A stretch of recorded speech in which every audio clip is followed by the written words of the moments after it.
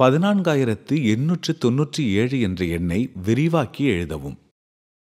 எண்களை கண்காணிக்க வண்ணங்களை கொடுத்து மீண்டும் எழுதுகிறேன். எனவே நம்மிடம் பதினான்காயிரம் உள்ளது. அதை கொஞ்சம் பெரிதாக எழுதலாம். பதினான்காயிரத்து எண்ணூற்று தொன்னூற்றி ஏழு. நீலம் ஏற்கனவே உபயோகித்து விட்டதால் மஞ்சளை உபயோகிக்கலாம். பதினான்காயிரத்து எண்ணூற்று தொன்னூற்றி ஏழு என்ற எண்ணை விரிவாக எழுதலாம். எனவே ஒவ்வொரு இலக்கமும் எந்த இடமதிப்பில் இருக்கின்றன என்பதை சிந்திக்கவும். இங்கிருக்கும் இந்த ஏழு ஒன்றாம் இடத்தில் உள்ளது. இந்த ஒன்பது பத்தாம் இடத்தில் உள்ளது. இது குறிப்பாக ஒன்பது பத்துகள் ஆகும். இது குறிப்பாக ஏழு ஒன்றுகள் ஆகும். எட்டு நூறாம் இடத்தில் உள்ளது. நான்கு ஆயிரமாவது இடத்தில் உள்ளது. இது குறிப்பாக நான்காயிரம் என்பதாகும். எனவே இது ஆயிரமாவது இடத்தில் உள்ளது. மேலும் இந்த ஒன்று பத்தாயிரமாவது இடத்தில் உள்ளது. மேலும் ஒவ்வொரு முறையும் நாம் ஒரு இடம் இடது பக்கம் நகரும் பொழுது பத்தால் பெருக்குகிறோம். ஒன்றாம் இடம் பத்தாம் இடம் நூறாம் இடம் ஆயிரமாவது இடம் பத்தாயிரமாவது இடம். இப்பொழுது அது என்னவென்று காண்போம். நான் அம்புக்குறிகளை வைத்து விளக்குகிறேன்.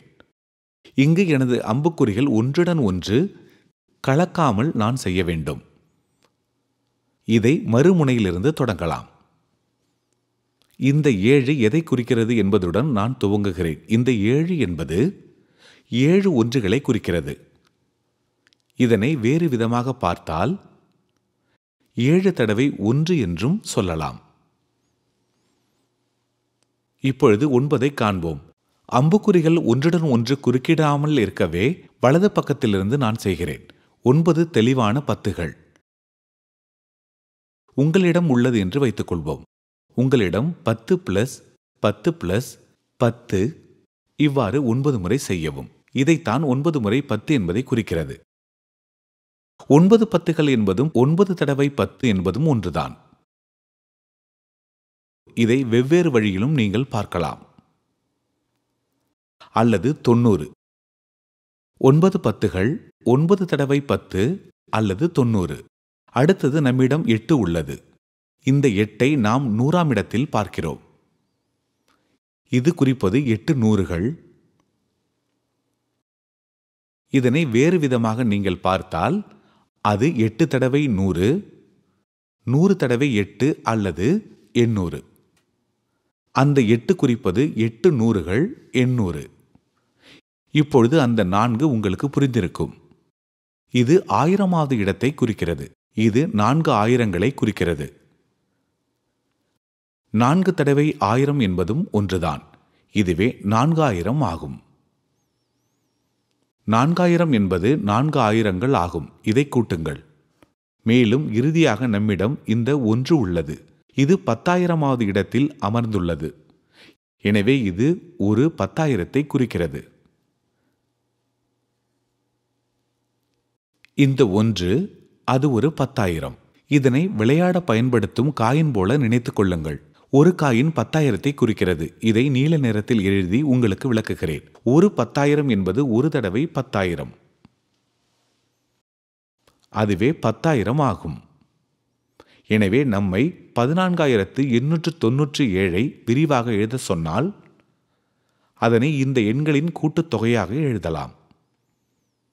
இந்த ஒரு தடவை ஏழு என்பது ஏழு. எனவே பதினான்காயிரத்து எண்ணூற்று தொன்னூற்றி ஏழு என்பது பத்தாயிரம் பிளஸ் நான்காயிரம். இது எட்டு நூறுகள் பிளஸ் எண்ணூறு. இது ஒன்பது பத்துகள் பிளஸ் தொண்ணூறு பிளஸ் ஏழு. ஆக இதனை விரிவான முறையாக கொள்ளலாம். அல்லது இவ்வாறும் கூறலாம். ஒரு தடவை பத்தாயிரம். விரிவாக்கத்தை பற்றிய மக்களின் கருத்தை பொறுத்து பிளஸ் நான்கு தடவை ஆயிரம்.